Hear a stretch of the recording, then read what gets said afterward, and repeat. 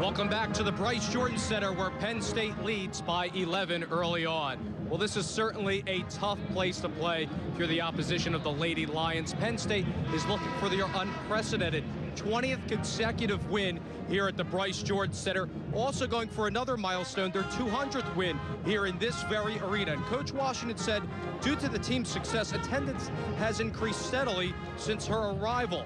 Talking with the event staff early on prior to this matchup, they said they even added sections here at the Bryce Jordan Center to bring in fans, also adding the students down low as well. And the popularity has just blossomed with this Penn State team. A lot of the players are celebrities on campus. They get involved with the community as well.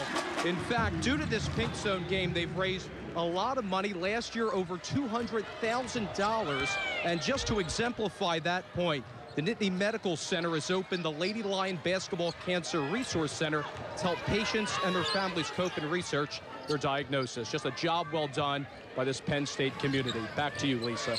Dave, a lot of great information. Their goal this year, 350,000. Back here at the Bryce Jordan Center where Penn State leads 30 to 14 over Michigan. And we're now joined by a special guest, Penn State football coach Bill O'Brien. Coach, thank you for joining us. This is the Pink Zone game. Over 600 survivors are going to be honored at halftime. How does this game resonate with you and your family? Well, you know, just like many families across the country, uh, you, know, we've been affected by cancer. And uh, this is just a, another great opportunity that the women's basketball coaches have, uh, have done a great job of honoring uh, uh, the survivors and, and, trying to help the research for breast cancer. And it, it hit close to home with me because uh, my mom's a two-time breast cancer survivor. So I'm happy to be here and just try to do a small part to help Weiss and all the other women's basketball coaches.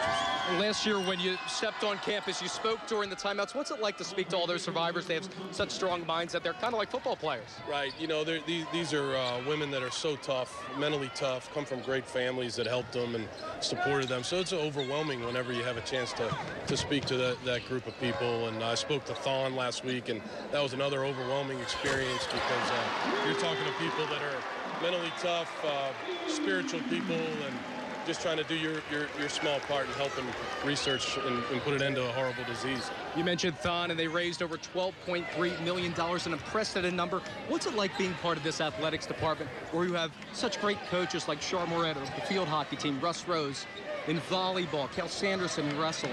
This is one of the best athletic programs uh, in the country. We have tremendous coaches here, uh, 31 sports. I've gotten a chance to to get to know all 31 coaches and some a little bit better than others, but but we we, we just uh, have a very successful uh, university here and a very successful athletic program, and a lot of that has to do with the fantastic head coaches that are here.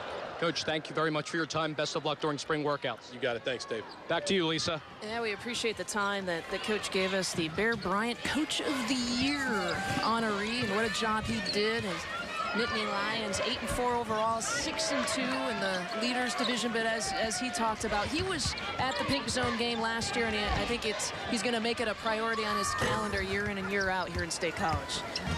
Dave, you have a little bit more on Kate Thompson. Kate Thompson has been terrific this season. We see her doing it in this game as well. But you got to remember, she was a role player in the last three years. In fact, in this season, she got her first start of her career as a senior. You mentioned she recently broke Michigan's single-season three-point record. This summer, she committed herself, according to Kim Barnes-Arico, the head coach of Michigan. Thompson set a goal to make 50,000 shots in the summer, and she did it while taking summer classes. Coach admitted that she's never seen a player have that determination and exultation out there, and Thompson certainly getting Michigan back into this ball game. Lisa?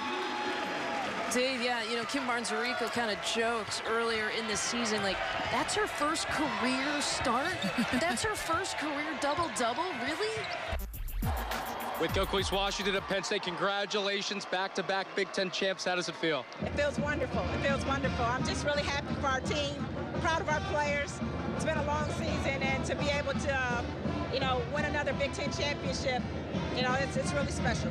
Quite an interesting game in that second half. In the first half, you guys didn't let Michigan score for about eight minutes plus. In the second half, it almost got down to the single digits. How did you stay the course and prevail in this one? Well, I think we just had to focus. I, I think it's, you know, it's an emotional game when you're playing and you know the championship is, is there for, for the, you know, and within reach. I thought the second half, we, you know, we kind of had a, a, little bit of too much emotion going on, but we settled down and, you know, uh, our, our players made some big shots and big plays down the stretch. You said coming into this matchup, when you looked early on in the season, played Texas A&M, and you played them so well in a top 20 matchup, you knew something was going to be special further on in this action, and it's certainly playing the course, isn't it? Yeah, you know, I think we have a team where we get a lot of contributions from a lot of people, and, you know, today we had Ariel Edwards come off the bench and play some big minutes for us and make some big plays, so um, it's just really nice that everybody contributed to this, and, and it's great for, for the Penn State community. Congratulations. Go celebrate. Thank you.